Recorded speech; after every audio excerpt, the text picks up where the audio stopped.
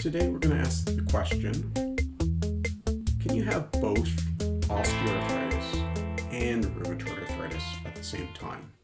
Is it possible to have two types of arthritis? And quite simply, unfortunately, the answer is yes. So, how can you tell the, the difference?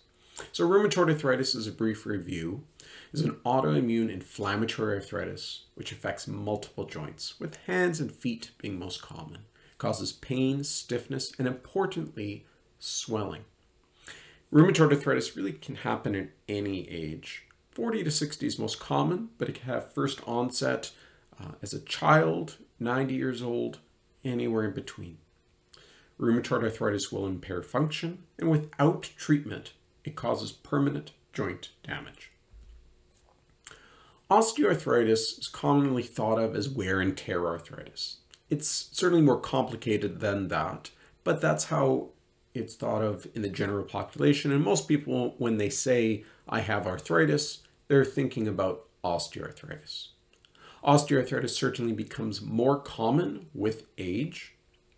It causes pain and stiffness, but usually not swelling in the joints. It certainly can, but this would not be common.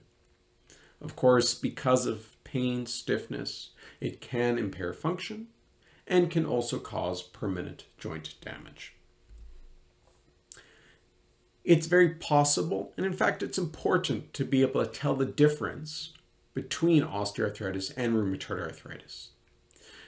They both have slightly different patterns of where pain and stiffness happens, as well as the joints that are involved.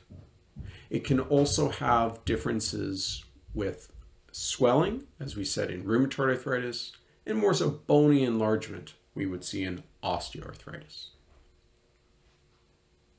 Treatment is also very different. For rheumatoid arthritis, we typically use a class of medications called disease modifying agents. These take away the inflammation, which by doing this, getting at the underlying disease, reduces pain, stiffness, and by doing this as well, prevents damage. Whereas osteoarthritis, we currently do not have disease modifying treatments, so our treatment is about managing symptoms, trying to reduce pain and improve function.